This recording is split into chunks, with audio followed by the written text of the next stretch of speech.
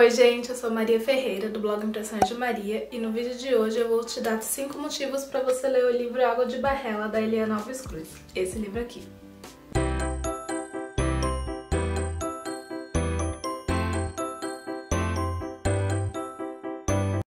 De começar esse vídeo, já quero te convidar para curtir, deixar o seu like aqui no vídeo e também se inscrever aqui no canal caso você ainda não seja inscrito. E se você ainda não conhece a Eliana Alves Cruz, ela é uma escritora brasileira e também jornalista que reside no Rio de Janeiro e ela é autora dos livros O Crime do Cais do Valongo, é, Nada Digo de Ti Quem Te Não Veja e né, Água de Barrela. Ela também participou de algumas antologias de poemas e de contos e sendo uma das principais delas a antologia Cadernos Negros. Eu já falei sobre os livros da Eliana Alves Cruz em diversas ocasiões, tanto aqui no canal, quanto no blog, quanto no meu Instagram. Inclusive, se você ainda não me segue, é só procurar Impressões de Maria lá no Instagram e começar a seguir. Eu dou diversas dicas de literatura também. Mas hoje eu quero falar sobre Água de Barrela. Então vamos aos cinco motivos para você ler esse livro daqui, que o exemplar tá aqui todo marcado. Mas antes de dar os motivos para você ler esse livro, eu vou falar um pouquinho dele aqui, então. O Água de Barrela é um romance histórico escrito pela Eliana Alves Cruz, que vai contar a história da família da, da autora desde os tempos da escravidão, quando um dos antepassados dela foi lá sequestrado em África e trazido para o Brasil para ser escravizado. E aí o livro vai contar sobre essa jornada, sobre esse período, até chegar nos tempos atuais, até chegar na Eliana Alves Cruz na, na atualidade.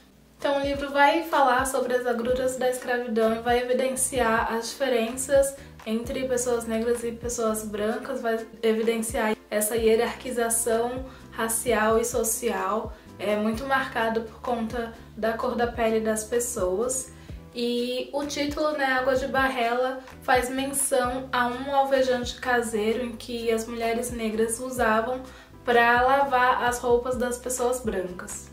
O primeiro motivo que eu vou trazer aqui para você ler esse livro daqui é porque ele traz a possibilidade de você conhecer mais sobre a história do Brasil, porque é um livro em que vai falar principalmente sobre escravidão e sobre esse período histórico da escravidão. Então, se você quer conhecer mais sobre esse período e todos os acontecimentos históricos que, que aconteceram durante essa época, então leia Água de Barrela. E o segundo motivo para você ler essa obra é que com essa leitura você vai estar entrando em contato com o gênero romance histórico, que é um gênero aí em prosa, em que a história se é ambientada principalmente no passado, e aí nesse gênero também os acontecimentos históricos influenciam no desenrolar da trama. E o terceiro motivo para você ler esse livro é que a escrita da Eliana Alves Cruz é uma escrita muito fluida e muito didática. Então, é um livro em que a gente vai lendo e a gente vai ficando muito imerso na narrativa.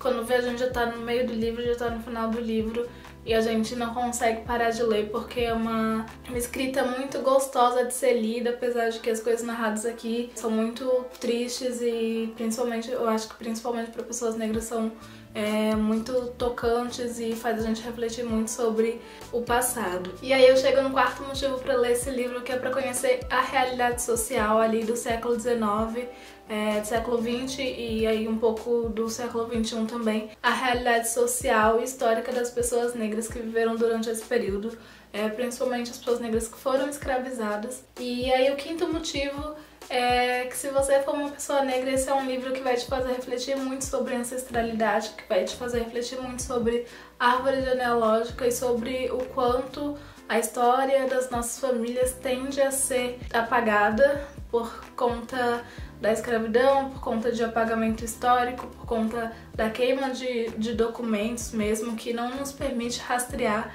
é, de onde nós viemos então, é, lendo esse livro, eu fiquei pensando até que geração da, da minha família conseguiria fazer uma árvore genealógica e aí eu me dei conta que eu só conseguiria chegar até os meus avós maternos e não mais do que isso. Então é muito difícil aí rastrear é, de onde eu vim. É claro que eu sei que, né, possivelmente eu vim é, de alguém que foi sequestrado em África, que foi escravizado, mas mais do que isso, coisas mais específicas eu não consigo é, dizer. Então é um livro que vai nos fazer refletir sobre isso. Eu acho que também é uma leitura essencial para as pessoas brancas, para que elas entendam e tenham noção né, de tudo que aconteceu às pessoas negras. E esses são cinco motivos para você ler Águas de Barrela. Me conta aqui nos comentários se você já leu esse livro. Se eu te convenci a ler, vamos conversar sobre ele então. Então esse é o vídeo de hoje, espero que vocês tenham gostado.